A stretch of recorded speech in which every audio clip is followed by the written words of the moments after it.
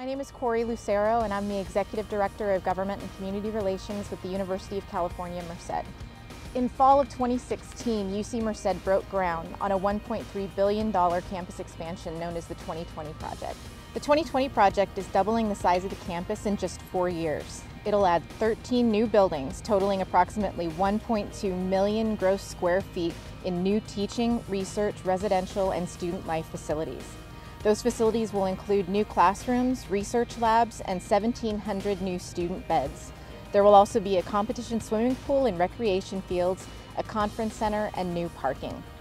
The 2020 project is a $1.3 billion public-private partnership and as a result of that will generate approximately $1.9 billion in economic impact.